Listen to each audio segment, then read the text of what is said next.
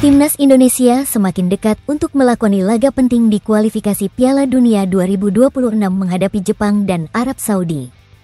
Hasil yang didapatkan Timnas Indonesia di kedua laga tersebut akan memengaruhi peluang tim asuhan Sintayong bertarung untuk lolos ke fase. Selanjutnya di kualifikasi Piala Dunia 2026. Di atas kertas, Jepang dan Arab Saudi bukan menjadi lawan yang mudah ditaklukkan. Meski demikian, Bukan berarti timnas Indonesia tak ada peluang untuk meraih kemenangan di laga-laga tersebut.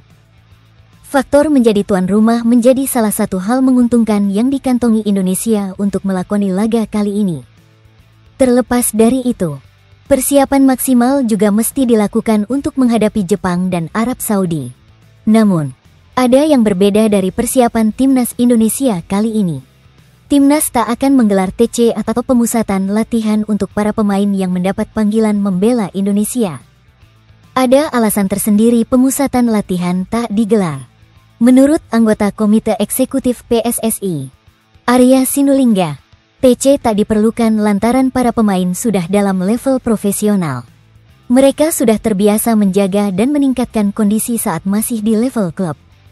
Demikian pula dengan para pemain yang berkompetisi di Liga 1. Tak akan ada penghentian kompetisi untuk menyambut laga kualifikasi Piala Dunia 2026 ronde ketiga nanti. Kesiapan saya rasakan pemain kita semua profesional. Ungkap Arya Sinulinga dikutip dari Bola Sport. Mereka bermain di klub-klub profesional juga. Levelnya sudah tinggi. Tidak ada TC. Jadi nggak akan ada yang mengganggu liga. LIB tidak diganggu apa pun. Sambungnya, nantinya, para pemain timnas Indonesia akan dipanggil mendekati hari pertandingan. Sekiranya 4 hingga 5 hari menjelang laga digelar para pemain akan dikumpulkan. Pada saat itu, para pemain baru akan mulai bersiap menghadapi Jepang dan Arab Saudi. Dipanggil mungkin H5 atau mungkin H4 sampai di Indonesia. Papar Arya Sinulinga. Sebagai pengingat, Timnas Indonesia akan menghadapi Jepang terlebih dahulu.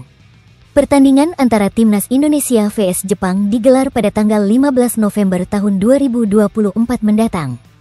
Setelah itu, skuad Garuda baru akan menghadapi Arab Saudi. Laga yang mempertemukan Timnas Indonesia vs Arab Saudi bakal dimainkan pada tanggal 19 November tahun 2024.